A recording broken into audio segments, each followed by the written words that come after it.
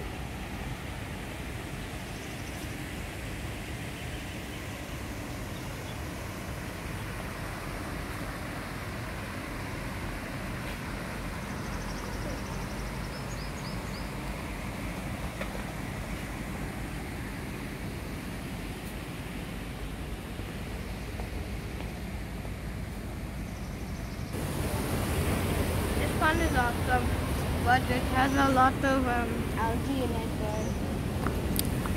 You see, there's a white fish. Look at that.